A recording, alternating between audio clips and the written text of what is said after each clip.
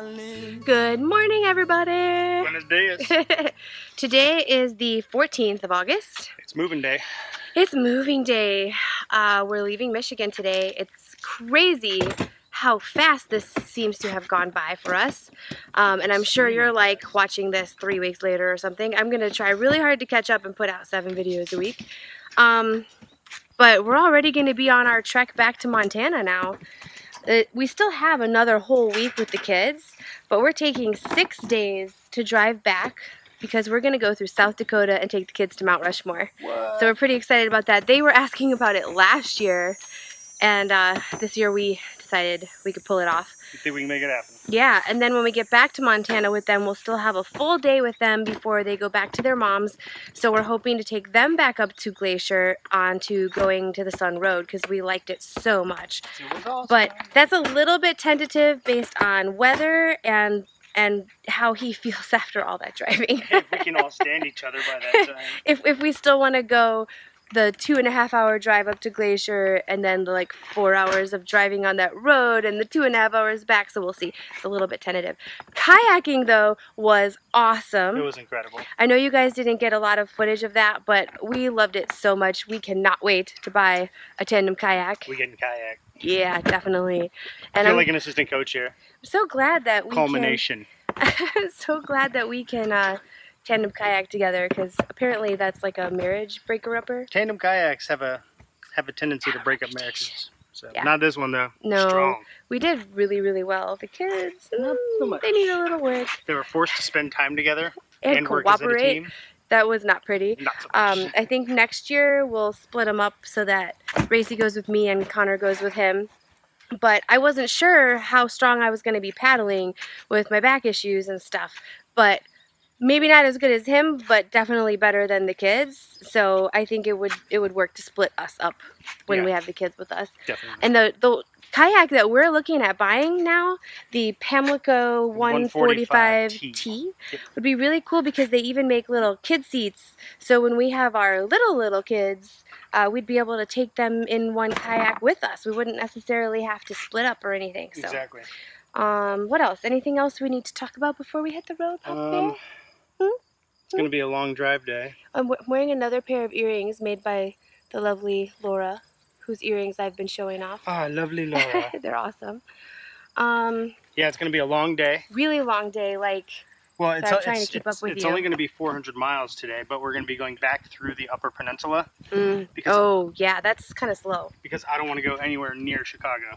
no, Um, even though it would have been nice to go to Portillo's, but that's cool. Whatever. I'm willing to forego Portillo's I know, I know. To be to deal with that traffic. So it's gonna be a long day today and tomorrow, especially. Mhm. And then I think we do a third day still before Mount Rushmore. yes, we do. Okay, So, so today we'll be going to De Pere, Wisconsin, and then from there we'll be going from De Pere, Wisconsin to uh, I think it's Worthington. Yeah, Worthington, Minnesota. We'll give you the day by day play as we're going along. How about that? That works. that way you don't have to remember it all right now. Well, I guess that's it for now. We're gonna hit the road. This uh, park, Indigo Bluffs Resort, has been really, really, really nice and so super convenient to Sleeping Bear Dunes. Oh yeah. Like we were what, maybe not even five minutes from going into Empire where we rented the paddle boards and rented the kayaks from Sleeping Bear Surf and Kayak. They are also awesome, by the way. Yep, if you're gonna be in the area, go see Sleeping Bear Surf and Kayak. Definitely, they're They'll take really, really cool. good care of you. and uh, there was everything in that town. I mean, food, ice cream, groceries, whatever you need on a small scale, of course.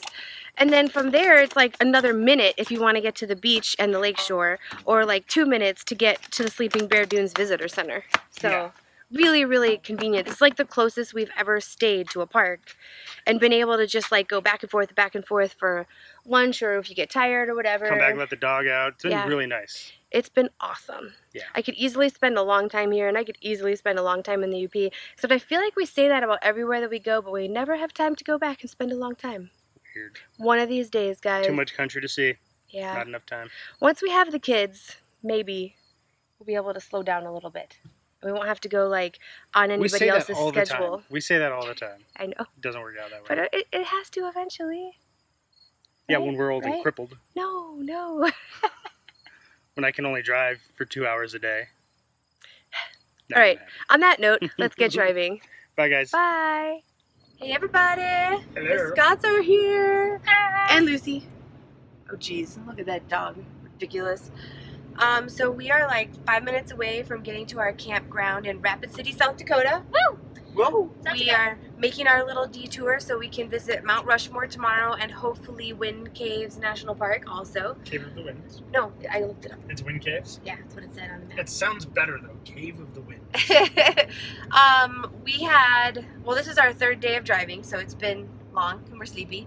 Um, but we had a nice little surprise, which is we are going to be meeting up with Keith and Melissa and their kids. They're a couple that we met in Colorado uh, back in I want to say March April, April? March or April, something like that.